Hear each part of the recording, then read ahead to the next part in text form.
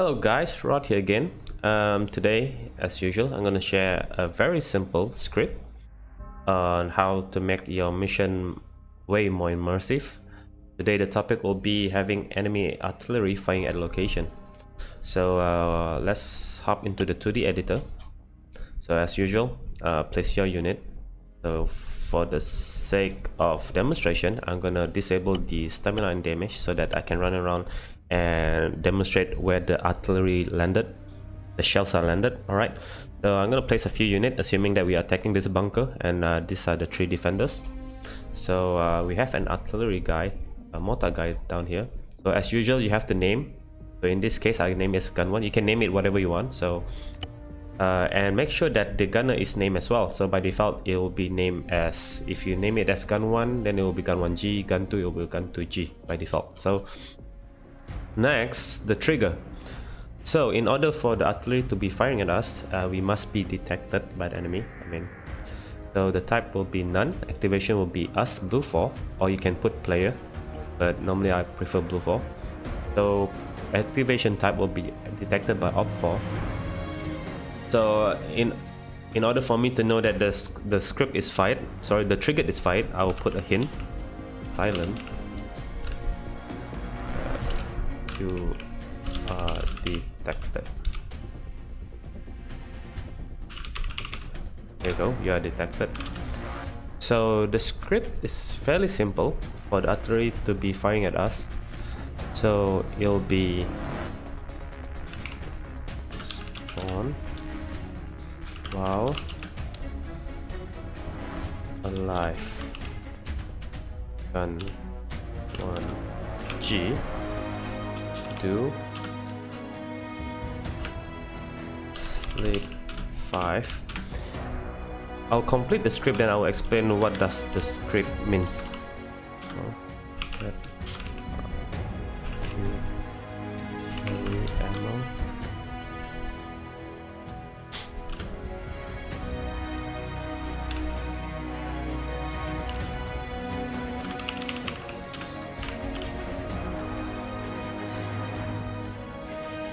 Is the target.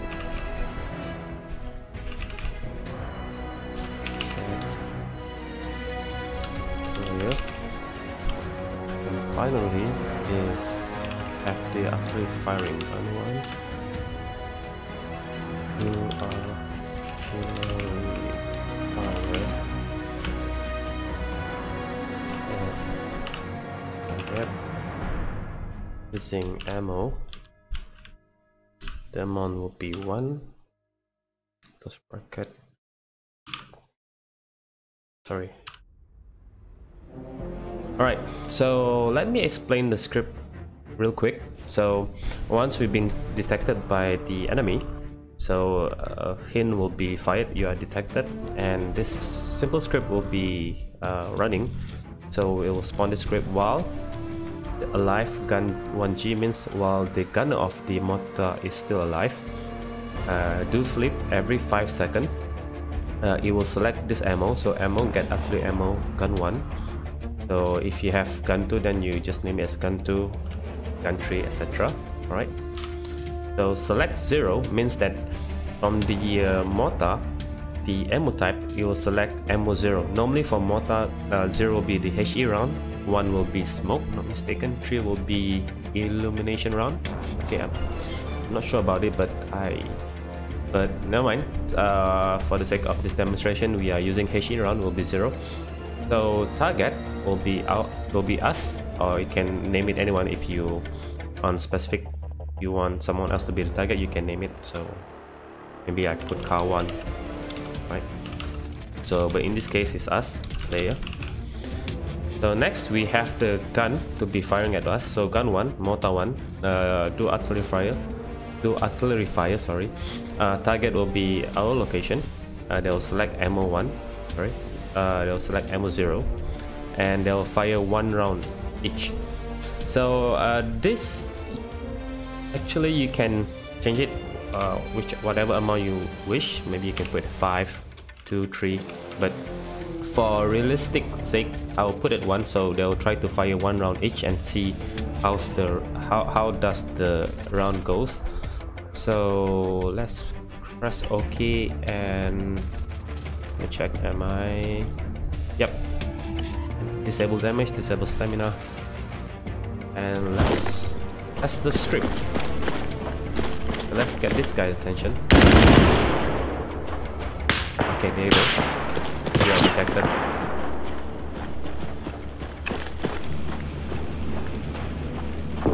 there you go. Do you heard that Tom?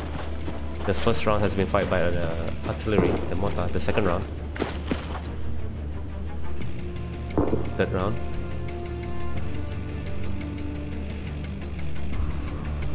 Fourth round. Okay let's move a bit. Show you that the, it does really uh, actually target our last known location let's speed up you can see that uh, it did target our last known location over there. So assume that I did not move. Okay I was I was really pinned down. I got pinned down by enemy fire so I didn't move. Eventually the artillery will hit you. Getting closer and closer.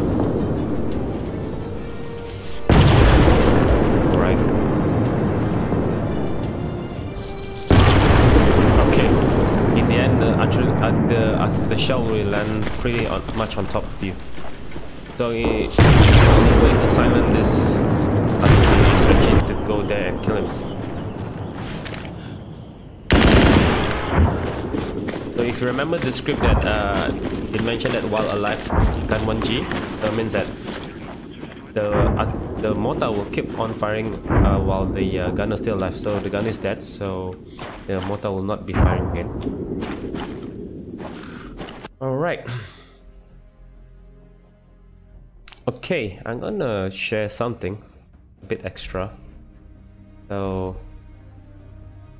just now you saw that the round sorry the shell landed right on top of us so if you want to make it kind of randomish so the only parameter you should change is under target so target so you change it to player get relative position.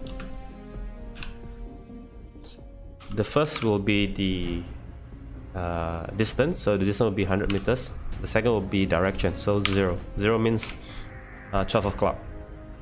So you can put it at maybe 90 up to you but normally I put zero.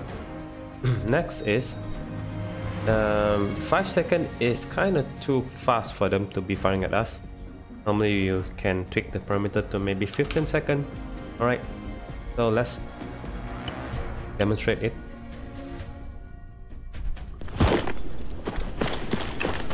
Again, let's get this guy's attention. Okay, there we go. Oh, they're really pissed. Speed up. Time. Okay, 15 seconds past the first artillery fight. And landed pretty far in front of us, 100 meters in front of us. How about the second one? Third one. Fourth.